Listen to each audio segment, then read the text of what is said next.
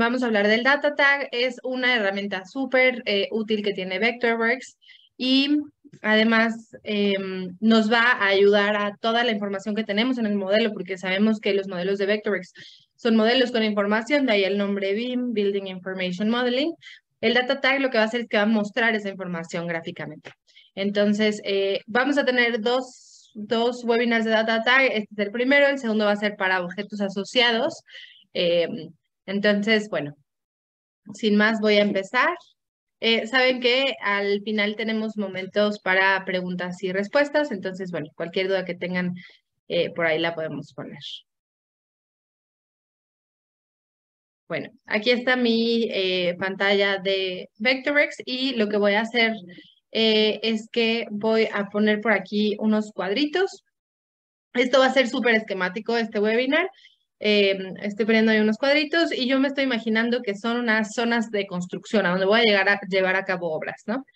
Entonces me voy a ir a nuevos recursos y voy a hacer un, un record format o un registro a donde le voy a poner de nombre eh, zona de construcción.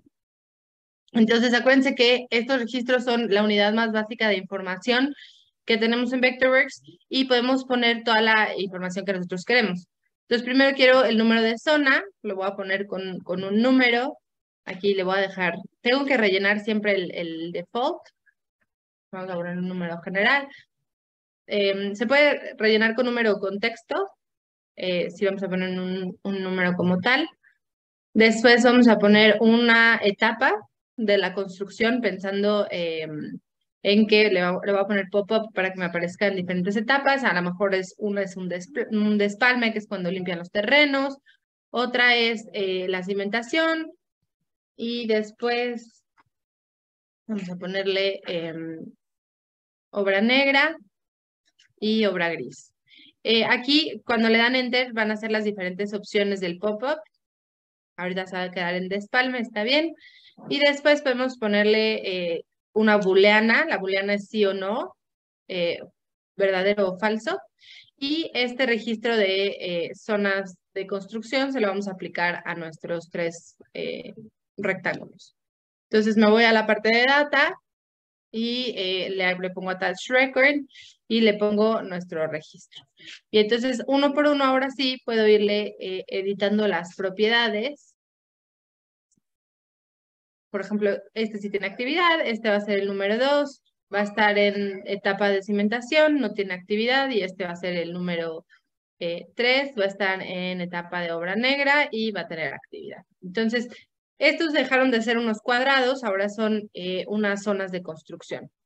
Y ahora, el data tag es este, este simbolito que está en Vectorworks en la zona de anotación y hoy vamos a ver el label mode, que lo que va a hacer es que va a etiquetar estos datos Después vamos a ver eh, estos de objetos asociados que nos van a auto-tagar, por ejemplo, eh, varios objetos que sean aplicables. No sé si tenemos un data tag para columnas o para puertas, lo vamos a poner y automáticamente nos va a, rellenar todas. No tenemos que ir uno por uno, ¿no? Entonces es bastante práctico. Eh, yo voy a empezar con el label mode. En la siguiente veremos los demás. Y aquí podemos nosotros poner algunas preferencias, por ejemplo, eh, de si va a tener un líder, el líder es la línea que lleva al data tag, em, cómo va a estar puesto. Yo ahorita lo voy a poner así súper simple. Ahí ah, lo tuve que, que ahí es error mío, eh, lo tuve que haber empezado, puesto que lo empiece desde el primer punto. Y ahí me literal van a hacer unas rayas y las voy a asociar. Entonces con la flechita azul lo asocio al espacio, pero bueno, ahorita no está pasando nada. Lo que voy a hacer es que voy a eh, editar el data tag layout. Tengo dos opciones, el data tag data y eh, el tag data o el layout. El layout como tal va a ser la etiqueta que va a mostrar nuestro data data. Entonces, llego, por ejemplo, a un rectángulo y a este rectángulo le pongo un texto eh, le voy a poner aquí A, B y C. Ahorita lo vamos a cambiar.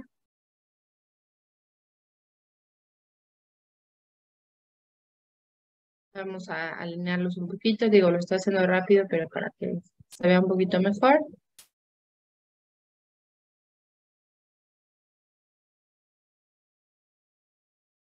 Ahora sí. Vamos a bajar esto un poquito.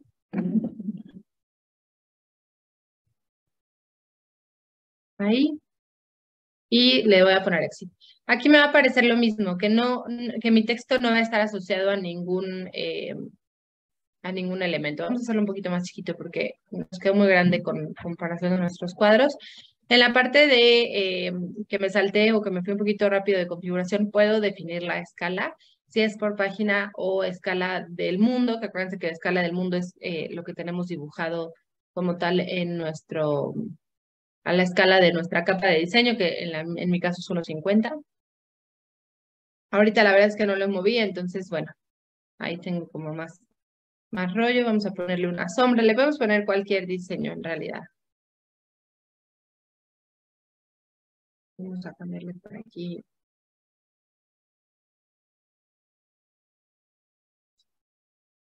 El color de la sombra. Y podemos cambiarle, digo, ya ahí la, la imaginación, pues lo que ustedes quieran eh, ponerle. Vamos a regresar al azul, ahorita vamos a cambiarle el color. Y aquí, eh, si yo trato de entrar, bueno, si lo muevo van a ver ahí cómo se me va eh, moviendo el líder, que es esta línea que indica que ese data tag está asociado a esa área. Em, y me va a decir lo mismo, que no hay objetos de texto eh, vinculados a una información. Entonces, lo que yo tengo que hacer es em, editar el layout, voy a venir aquí y voy a tocar cada texto y hasta abajo hay una parte que dice Use Dynamic Text. Una vez que yo pongo esto, lo que va a hacer es que va a convertir estas letras en dinámicas. Entonces van a responder a un parámetro.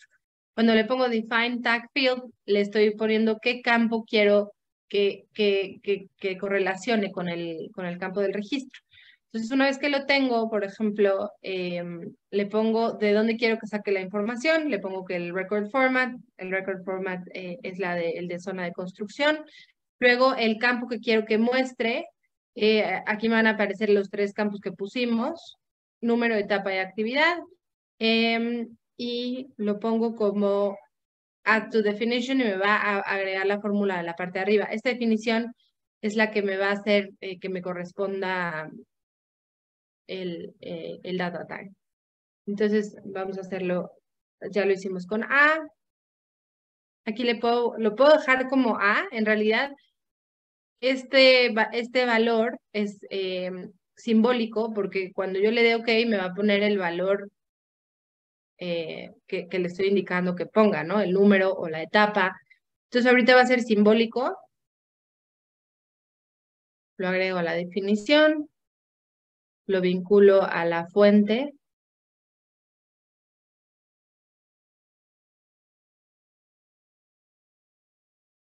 Le damos OK. Igual, este yo le puedo poner aquí qué es para cuando, cuando entre a editar em, mi data tag sepa qué es cada uno de los valores, pero estos son valores que cuando yo le dé OK me va a mostrar el resultado. Igual, vuelvo a hacer lo mismo. En el C, registro, este va a ser actividad y em, lo agrego a la definición, lo vinculo con, el, con la fuente de datos y aquí le pongo actividad.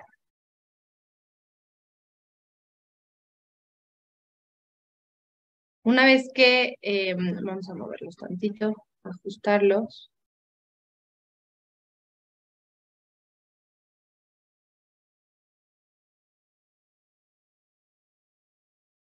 Van a ver, ahorita que me salga, sale uno de espalme verdadero, porque esos son los valores que eh, me está rellenando.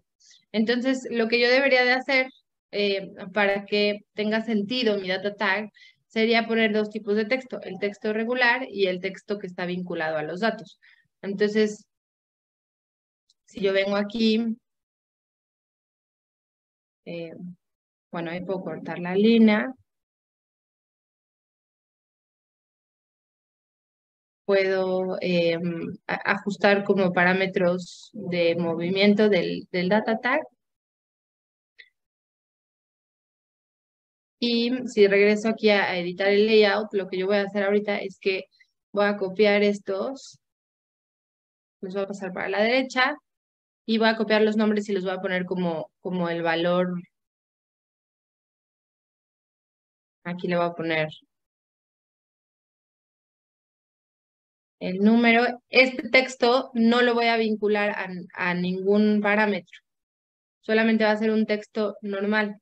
Y este lo puedo dejar como número o le puedo cambiar el, nombre. Va a ser representativo del número del registro. Entonces lo voy a regresar a A como lo teníamos. Si, si alguien se me pierde, me puede ir preguntando y ahorita eh, si puedo voy revisando, pero como que eh, para mí es importante que se entienda la diferencia entre el texto que estoy poniendo del lado izquierdo y el texto que estoy poniendo del lado derecho. Texto del lado izquierdo es un texto como tal, son caracteres, y el texto del lado derecho es una representación de lo que hay en, eh, en, mi, en mi tarjeta de registro, en mi record format, y entonces si yo cambio a la etapa de construcción, se va a cambiar, eh, se va a cambiar el texto. Bueno, el número de etapa y ya por último actividad.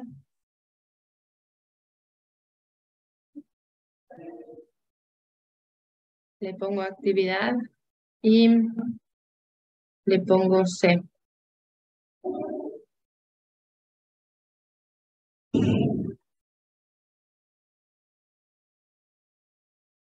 Digo, no le estoy poniendo tanta, tanto detalle a esto porque lo que me importa es que se entienda el concepto.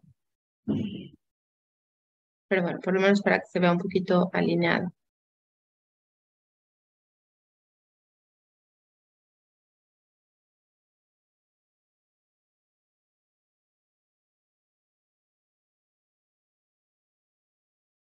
Esos ya ven, no son dinámicos, le cierro y entonces ahora sí, número uno, etapa de espalme, actividad verdadero.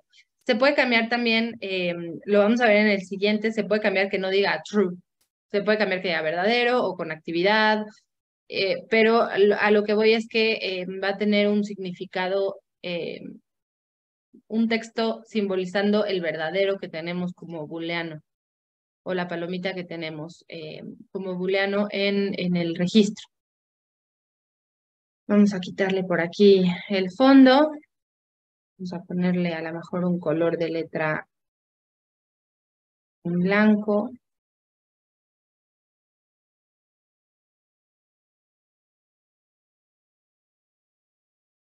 Y entonces vamos así a ir tagueando eh, todos nuestros objetos, ¿no? Depende de si yo copio este data tag em, y le pongo em, a, otro o cambio los parámetros, esto se va a ir actualizando.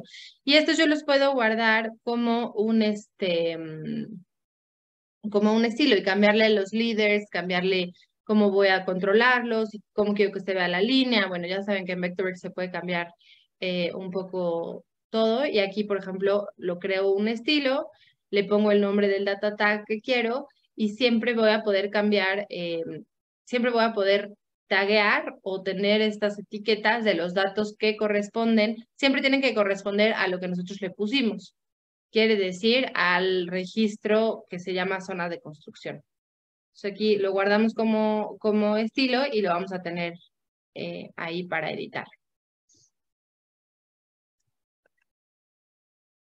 Esto fue, em, se los hice un poquito corto porque es un poco complejo de como ir em, como no es, no es visual, bueno, para mí por lo menos, los conceptos pueden volverse un poquito extraños, pero eh, les prometo que es la herramienta más útil que van a encontrar, es de las más básicas de Vectorworks y para mí es lo que la hace en BIM. El poder cambiar, eh, ahorita lo vimos muy sencillo, pero puede ser, por ejemplo, puede tener una función de área. Entonces, yo tengo un, un rectángulo y le, le, aplico un data tag con un área y crece el rectángulo y crece el área y crece el data tag. O sea, bueno, crece el valor en el data tag. Entonces, me, me permite tener mucho control sobre lo que está pasando en mi modelo y ir visualizándolo de diferentes maneras. Eh, no sé si alguien tenga alguna duda. Eh, como les digo, para los que fueron llegando después, porque veo que se fueron este, incorporando después, este es el primero de dos. Eh, vamos a tener Data Tag 2 la siguiente sesión y vamos a hablar de a lo mejor operaciones matemáticas que se pueden hacer dentro del Data Tag. Bueno, no matemáticas, pero de área, de cálculos. Y cómo vincular objetos para que, por ejemplo, poner un data tag que taguea todas mis puertas en el proyecto automáticamente y no tener que ir poniendo una por una. Entonces, bueno, eso es lo que viene la siguiente, el siguiente mes. Eh, no sé si alguien tiene algún comentario, alguna duda.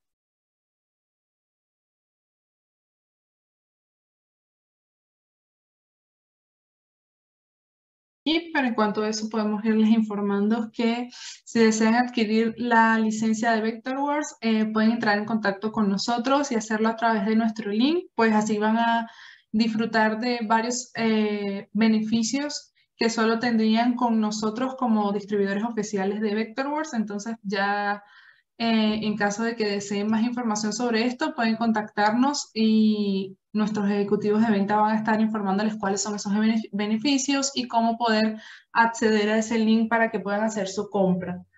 Eh, no veo entonces ninguna consulta. Creo que quedó todo bastante claro. Eh, Mariel, ¿me ayudas compartiendo, por favor, los datos de contacto para que sí los puedan tener? Sí, claro. Bien. Eh, si desean tener más información sobre Vectorworks, pueden visitar nuestra página web, es vectorworks-la.com. Eh, si también quieren enterarse de cuándo son los próximos webinars, sobre todo que ya sabemos el tema del siguiente webinar, que va a ser una segunda parte de este, DataTag, pueden visitar en nuestra página de Facebook, Facebook que es Vectorworks LA, y nuestro Instagram, Vectorworks-Latam. Ahí también van a poder ver las novedades, fechas de webinars, promociones, todo lo que estemos eh, anunciando sobre Vectorworks lo estamos informando por ahí. Si quieren ver nuevamente este webinar o los anteriores, suscríbanse a nuestro canal de YouTube. Es Aufier Informática. Ahí también siempre estamos actualizando contenido relacionado a Vectorworks y el resto de marcas que distribuimos en Aufier Informática. Y por supuesto, si quieren entrar en contacto con nuestros ejecutivos de venta o tener información sobre eh, capacitaciones, cotizaciones, informaciones sobre el producto, eh, no dejen de escribirnos a ventas Ese es nuestro correo electrónico general y eh, ahí siempre estamos resolviendo sus dudas y solicitudes. Sin más, quedaría solo agradecerles por su presencia hoy. Y bueno, muchas gracias Mariel una vez más por compartirnos tus conocimientos sobre Vectorworks y a todos ustedes por su tiempo. Muchas gracias, que estén muy bien. Hasta luego.